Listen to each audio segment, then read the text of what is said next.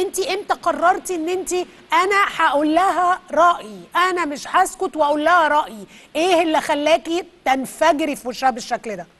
هقول لحضرتك أنا زي عرب آه، كتار ومش بس عرب بصراحة بس يعني أنا أحب أقول آه، عرب عشان يعني يعني في في ال- في الفترة دي إحنا نحب نتحد نحب ال ال ال بحيث إن إحنا حتى نستخدم مصطلحاتنا إحنا. ما ما نحتاجش مصطلحاتهم هم. يعني إن انت تسميها حرب ده حاجة مستفزة جدا. ما هياش حرب هما الاثنين زي بعض؟ لا. طب ما هياش حرب ف... فهي حاجة استفزازية جدا من الألف للياء. ف... ف... ف... فأنا كنت مستفزة وكنت زي عرب كتير ودلوقتي بسبب التواصل الاجتماعي ما بقاش زي زمان. انت مش مش بتعملي حاجة ف... فكل واحد قاعد على ال... على الصفحة بتاعته أو أو ما علينا قاعد بي- بي- بيتخانق مع نفسه.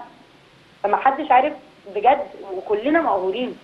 وهو ال ال ال الإعلام بتاعهم يحب يوريكي إن إحنا مش مش مش كلنا قوي منفعلين ومش كلنا قوي متحدين آه، لفلسطين وإن وإن الفلسطينيين محتاجين أرضهم وإن القضية الفلسطينية آه، آه، مهمة إن هي تتحل. لأن لأن هم ما همش هيدخلوا فينا مش بس عشان إن هم يدخلوا فينا ده معناها القضية بتاعتهم انتهت وإن إسرائيل عملت في أرضك. بس عشان كمان هم نفسهم مش عايزين يسيبوا أرضهم.